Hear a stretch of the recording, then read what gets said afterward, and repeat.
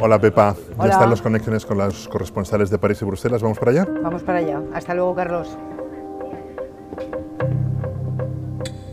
Hola Bernardo, hola Marc. Hola. ¿qué tal? De lo, que, de lo que quiero que hablemos, lo que más me preocupa es este momento que vive Europa, yo creo que el más complejo de toda su historia. Eh, con Macron eh, de nuevo en la presidencia de la República, sí, pero con la guerra que sigue ahí, con Putin desafiando nuestras fronteras.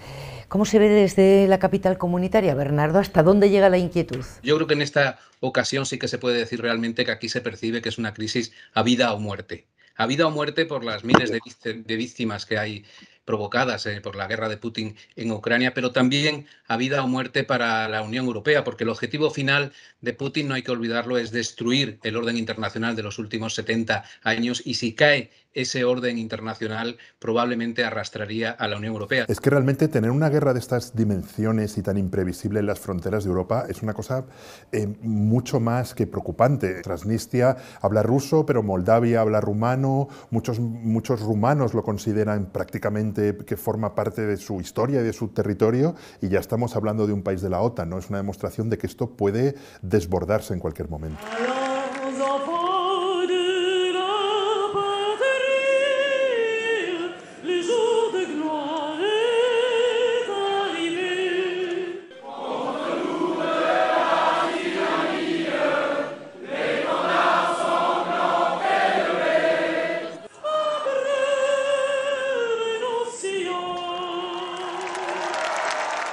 En medio de esta guerra y de esta situación tan compleja, Marc, esas elecciones en Francia que garantizan la permanencia de Macron otros cinco años al frente de la Quinta República. No lo va a tener fácil, no obstante. Macron tiene una oportunidad para afirmarse como líder europeo. Francia es la única potencia nuclear eh, en la Unión Europea y el único país con un sillón permanente en el Consejo de Seguridad de la ONU, lo cual en el contexto bélico que, describía muy bien Bernardo, eh, le, da un peso específico en esta situación. Me había impresionado escucharte en alguna otra ocasión eso de estamos en un momento de absoluta oscuridad, ¿no?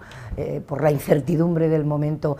Bernardo, eh, ¿se extiende esa oscuridad por la capital comunitaria, por Bruselas? Yo creo que no se puede descartar que en cuestión de unos años, quizá menos de los que pensamos, la Unión Europea se encuentre en la misma situación que están ahora Francia o, Italia, es decir, que se, derrumben los cimientos eh, democristianos y socialdemócratas que han mantenido en pie la Unión Europea durante décadas. Y en ese momento cuando llegue esa fragmentación a nivel comunitario, si llega, será, será, será, será el punto clave para ver si la Unión Europea puede sobrevivir con ese nuevo escenario. La Unión Europea es un club de democracia. Sería inconcebible que un país no democrático eh, fuese miembro de la Unión Europea. Y sin embargo, ahora mismo hay dos países que se llaman iliberales, que son Hungría y, Polonia, que no cumplen todas las reglas de una democracia y que no van a mejor, sino que van a, a peor. ¿no? Si hay más países que se suman ese club de no democracias, sí que se podría, o de democracias de aquella manera, sí que se podría podríamos pensar en una posible ruptura, aunque hay países que de alguna manera tengan que salir de, de la Unión Europea.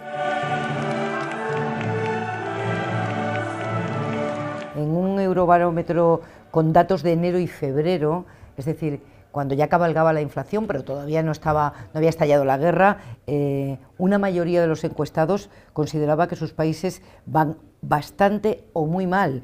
Y en el caso de Italia, de España o de Francia, esa cuota supera los dos tercios. Buena noticia, que había un grado de confianza mayoritaria también en la Unión Europea.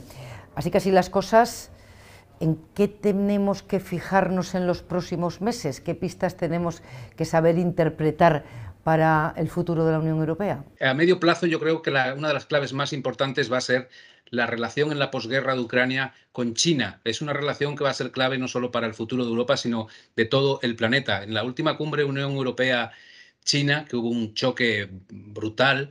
Yo tuve la sensación en la rueda de prensa posterior de que asistíamos quizá al primer acto de la desglobalización y si no se frena ese proceso, pues podríamos entrar en un nuevo mundo. Y en clave interna de la Unión Europea creo que será decisivo el papel de Alemania, no por su peso por su peso evidente económico y político, sino porque Alemania está ante un dilema histórico en el que tiene que elegir entre una ruptura con su, su, vecino más importante del este, que es Rusia, con el que mantiene unos lazos económicos, políticos, históricos importantísimos, o decantarse por la Unión Europea claramente. En Francia la clave ahora son las elecciones legislativas del próximo mes de, junio.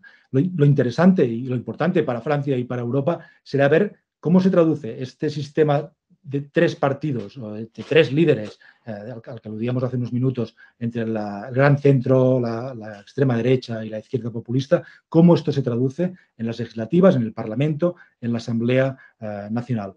Hay encuestas un poco prematuras, yo creo que hay que tomarlas con muchas pinzas, pero que dicen incluso 100 diputados uh, para Marine Le Pen, pero que en parte yo pienso que tendría un aspecto de normalidad. Si un partido, una candidata que ha tenido 13 millones de votos en las elecciones presidenciales, uh, hay una cierta lógica y es una señal de normalidad que esto, esta realidad, uh, que esta realidad cruda a veces, pero se refleje en las instituciones parlamentarias. Mélenchon Le Pen aspiran a, a tener una mayoría incluso y a forzar un gobierno de cohabitación, a lograr ser ellos los primeros ministros por tener mayoría parlamentaria. Eh, en este momento lo tienen muy difícil, pero ya veremos. La Unión Europea siempre se ha construido sobre crisis y sobre momentos en que parecía que, que no había solución, desde aquella vez que Francia votó en contra de la Constitución, el, el Brexit, la gran crisis, eh, eh, Grecia en, en, en, llamas, el empobrecimiento de la clase media. Y, y, yo, y yo, sí tengo el, el, sentimiento de que al final todo saldrá bien, como aquel personaje de Shakespeare Love, el productor que interpretaba a Geoffrey Rush, que era un desastre, no aparecía el actor, les iban a cerrar la función y, y él estaba tan tranquilo, decía, todo saldrá bien. Eh, pues yo creo que la Unión Europea al final, no, sé cómo lo hará, es un invento demasiado bueno para que fracase y yo creo que, que todo saldrá bien. Fíjate, un argumento más. Es verdad que Europa siempre se ha construido eh, al borde del abismo, ¿no? siempre al borde del abismo, y que esta vez el abismo es muy profundo, pero mmm, la reacción esta vez, la reacción de Europa esta vez ha sido muy diferente a la de la crisis del euro. ¿no? Eh, muy, muy, muy diferente. Tanto en la pandemia como en, en la guerra de Ucrania parece haber entendido que no se puede eh, eh, salir de las crisis sobre el sufrimiento de las poblaciones. ¿no? Y la reacción ha sido de mayor unidad, de mayor rapidez y de mayor ambición que en aquella ocasión. Así que ese es otro elemento para mí también de, de optimismo. Altares. Lo iremos viendo. Marc, Bernardo, muchas gracias. Muchas gracias. Gracias.